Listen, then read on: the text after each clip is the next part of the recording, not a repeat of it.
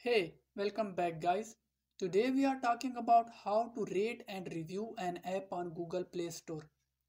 Why would you want to know how to rate and review an app on Google Play Store?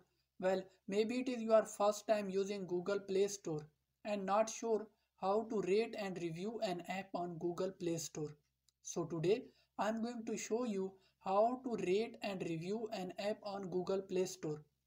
Check video description and I will try to leave the written instructions. Rating and reviewing an app on Google Play Store is quite simple and easy to do. First of all, open the Google Play Store app.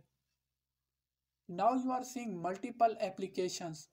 If you want to review an app that you used and share feedback about the app, click on profile icon at the top right corner. Now click on manage apps and device. Here at the bottom you are seeing ratings and review. Click on it. Now click on any app you want to rate. For example, I am willing to rate and review this app. Click on write a review. Now here you can rate and review and then press post. So there you go. If you are wondering how to rate and review an app on Google Play Store. That is the easiest way I know. If you know another way, please leave a comment below. Be sure to subscribe for more videos.